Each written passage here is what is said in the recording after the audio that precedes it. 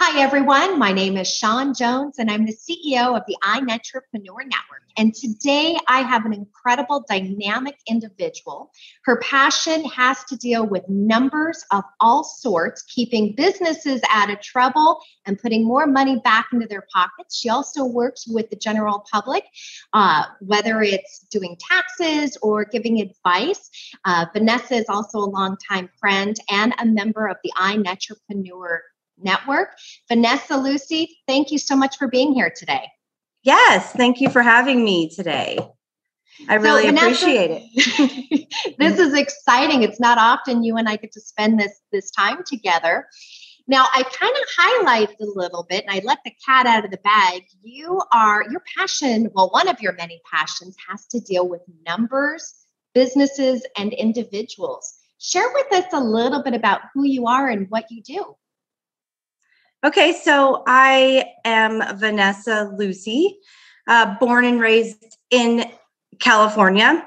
Um, I have been, I have started my business about five years ago. I did start it initially about 11 years ago, but went really full time into it uh, now on my fifth year of being in business for myself. So I'm really excited that I actually could do this. I never thought I'd be an entrepreneur. I just thought I would be working for people and doing dead end jobs and just, I don't know where my life was going to go, just working for other people.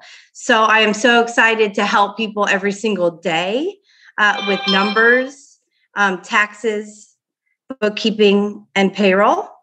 Um, I've been in the field for 20 years between jobs and my business. So I really know uh, the ins and outs of, of bookkeeping and payroll and taxes. So you, you've been in your industry for a long time. When did you realize that the path that you're on right now as that accountant, working with taxes and payroll, that that was that that's what you wanted to be when you grew up? When did you when did you realize this was your path? That's funny because I didn't want to be an accountant growing up. I didn't like numbers. I didn't like math. So um, I wanted to be an actress. You know, being from California, who who doesn't want to be an actress? That's what I wanted to be, and I loved performing on stage. Uh, but I had a job that saw my strength. Sometimes you don't see your strength within, you know, and I didn't see that accounting strength within. So they saw it and they're like, oh, we're going to put you in accounting. And as I grew in that position, I really started liking it. So then I changed my course of what I wanted to be in life. And I went and I got educated in accounting. Wow. Well, you're really, I mean, I, I, I will say you are excellent at doing taxes and the accounting. Um, I noticed that on, on that personal level, you really do find comb what people are doing for taxes. And you also do reviews of uh, when people have filed with other through other accountants, you'll do like an audit of their their last year, previous year's taxes. Is that correct? Yeah, I will. I'll look it over and and kind of say, hey, this is what I see in this uh, in these taxes. So what can we do better for next year? You know, people come in and they don't want to pay taxes. I get it. I'm in the I'm in the same boat, but unfortunately, taxes have to be paid, but we can always come up with strategies to lower taxes or whatever we need to do. I, I like that term, using strategies. So, what type of clients? So, let, let's start there before we kind of dive into your strategies. Mm-hmm. Who are your clients that you really love working with that, that find the services that you provide meet and exceed their expectations? Um, the clients, let's see. Could you repeat that? Because I'm trying to think. Sure. Do you Sorry. like to work with like solopreneurs? Do you like to work with large corporations that have multiple employees, multiple locations? Are they here in, in your home state where you're at right now, or do you work with clients all over the United States? What does your client, your ideal client, really look like? You know being in being in business for five years now i always thought i would go for the big corporations you know because there's a lot to do in a corporation but i have really stuck with just the entrepreneurs. Um, i have a couple solopreneurs but i'm more, more like five to ten people in the business is really what i like to focus on. And it and and what i've really been focusing on too is you know i'm huge in the restaurant industry um, construction. Uh, uh, let's see what else. Uh, doctors. I have a couple doctors. Um, and like motorsports and that type of stuff. And those, all those clients are five to 10 people in that um, business. And I really like to, to help those people because they're really gung ho about taking their business to to another level. Where solopreneurs, sometimes it's just them. They don't do what you really tell them because they know what they need to do or they Absolutely. think. Absolutely. Right. what we think. I love that. Yeah. What we think we need to do. so when somebody wants to come to you, um, maybe they they're starting up their companies, or maybe they've been using other tax professionals and they're just something doesn't feel right. You know, you just get that gut feeling, you know, there's still yeah. something that just you're not being guided on properly. What is what does that look like when you take on a new client or somebody wants to interview you? What is your process?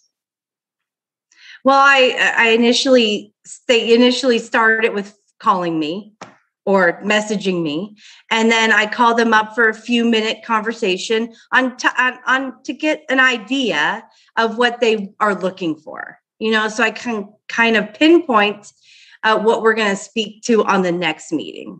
So it's a couple meetings before you know we agree to work with each other because i have to know what they're looking for and i really have to know what kind of situation i'm getting into in mm-hmm. order to quote them or help them or if i can help them you know i sometimes their problem might be way over my head and it might need lawyer status right so it's initial conversation for a few minutes and then, hey, let's make an in person or Zoom meeting.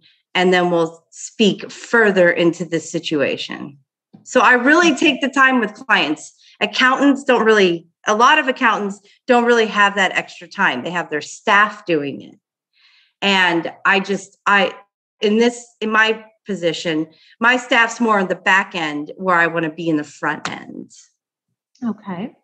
So you touched on some sometimes there's attorneys that need to be involved with certain cases.